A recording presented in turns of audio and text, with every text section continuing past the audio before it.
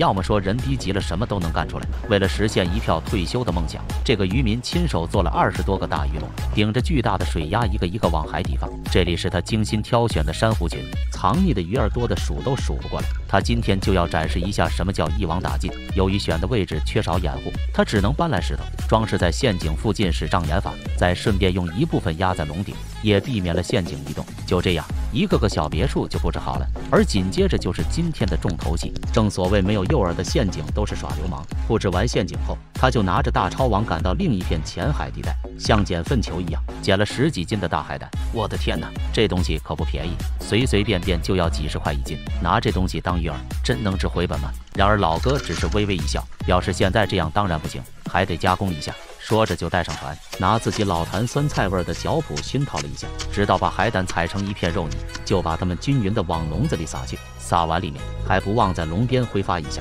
勾引鱼儿。做完这些后，老哥也不急着收网，第二天才驱船回到这片水域，凭借着超强的记忆力，精准无误的就找到了一个鱼笼。他迫不及待的透过龙眼看过去，我的天哪，这塞的也太满了！话不多说，赶紧弄回船上开仓放水。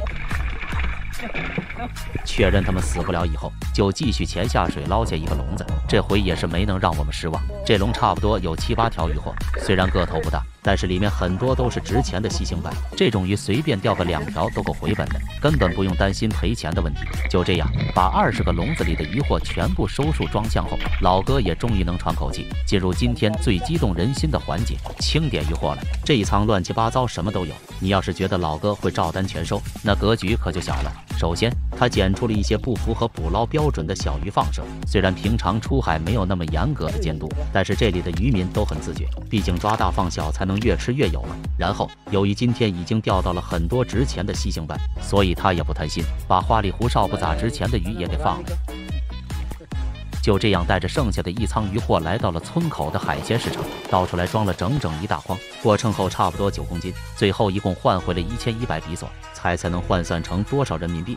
这个小孩更狠，上千块一条的东星斑在手，居然切成块来当钓鱼的诱饵，眼都不眨的就往水下扔。这要是在国内，妥妥的是土楼里造飞机，异想天开呀！但这个小孩却说舍不得孩子套不着狼，你们就瞧好吧。说着就把鱼线快速的放下海去，很快鱼线就绷得紧紧的，这是有大鱼咬钩的节奏啊！果然，随着猛的一下回拉，小孩就开始收线了。然而收的却并不顺利，没几下就被扯得差点一头在海里。好在他经验老道，没有让鱼线脱手，稍微换了口气，就继续卯足力量收线。大鱼的下马威让他不敢轻敌，每一下都用尽全力的收，即便巨大的力量把小手勒得生疼，他也依然动作不停。很快就把大鱼拉出了水面，而看到他的那一刻，小孩立刻就露出了八颗大牙。这居然是一条两三斤的东星斑，一块东星斑的肉换回一条大东星斑，值啊！说着，小孩赶紧把鱼钩解下，扔进水舱里存放。看来今天用这诱饵算是赌对了。说。着再次往鱼钩上挂了一大块鱼肉，经过一阵火急火燎的放箭，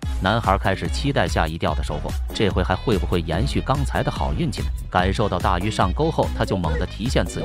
可是这一钓比上一钓还不省心，男孩的腰几乎就没抬起来过，勉强维持一个别扭的姿势，一下一下艰难地收着鱼线。在不懈的努力下，大鱼很快就招架不住，三分钟后被他拖出水面。我的天哪，怎么又是一条东星斑？这到底是踩了什么狗屎运呀？虽然没有上一条。的，但也没什么成本呢，怎么都是赚。看来今天的鱼情很好，机不可失，必须加快速度。再次下钓后，更是异常顺利，几乎没费什么劲就钓上一条巨大的深鱼。这种鱼虽然不如东星斑那么昂贵，但是鲜美十足。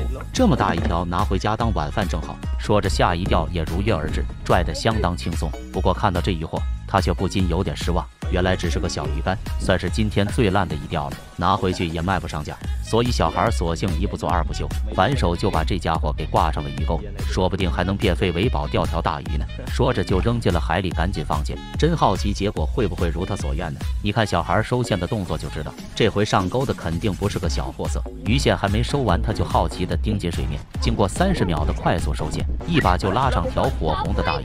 好嘛，居然又是一条东星斑，看上去足有四五斤。给小孩激动的在镜头前疯狂展示，发财了。发财了，这一条就值好几千呢，真是没赌错。而正当我以为这已经是今天的巅峰时，接下来他居然又不费吹灰之力就拉上两条大大的冬青斑，甚至有一条是直接挂在鱼钩上的，连鱼饵都省下来了。这运气我只有一个字，放我过去。鱼饵用完后，小孩决定见好就收，把这些鱼货拉到市场换钱，最后一共卖了四千三百六十比索，能折合多少人民币？不妨在评论区猜一猜，关注我，每天带你发现一片新大陆。